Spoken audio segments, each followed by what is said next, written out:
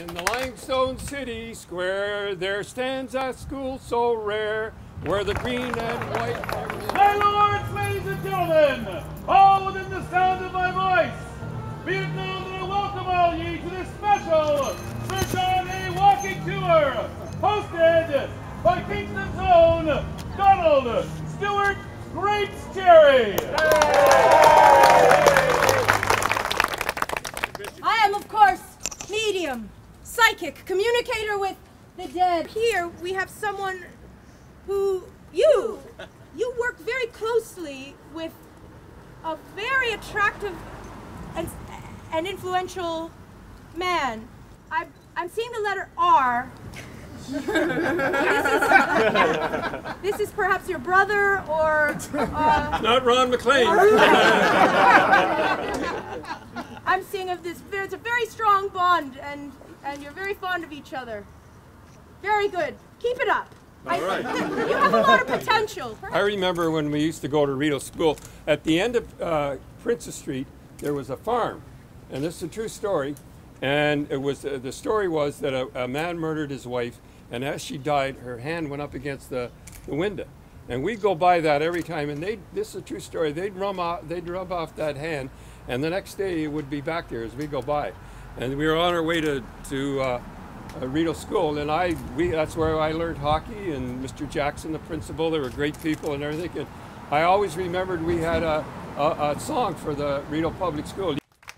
In the limestone city square, there stands a school so rare, where the green and white ever stands for might, and pride fills every heart. Rideau School is the song we sing. Rideau School, let the echoes ring.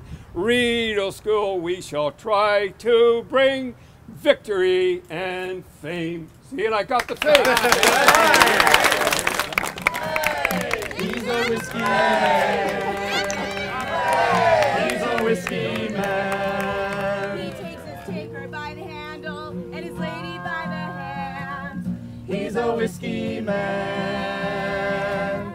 He's a Whiskey Really enjoyed it. The people were great, and Sir John A. and the actors were, were just something. People should come to this all the time. So we really had a good time. I was kind of, you know, I didn't know what was going to go on, but uh, the people were great, and everybody was. We had a great time. We knew about Sir John A., a good Kingston boy. Uh, we we uh, talk about travel in Canada. What's your favorite thing about Canadian travel?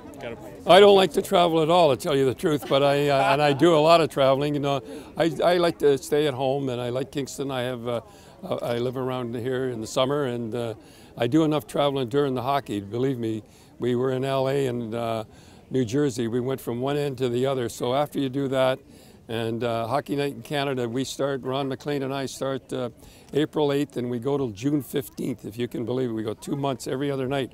So to me, traveling is not not uh, an enjoyable thing. Thank you, everybody. If you get really mad in a fight, you're going to lose. And when you see those guys fighting, they know what they're doing. They're very calculated. That's what I did for. I did it till I was 34 years old. And if you have a conscience, you're done.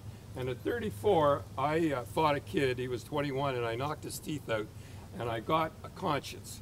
And once a fighter gets a conscience, you're done. When you see the fight on the ice, they uh, after the game, it's all forgotten because that's that's part of the game, as far as I'm concerned. Okay. All right.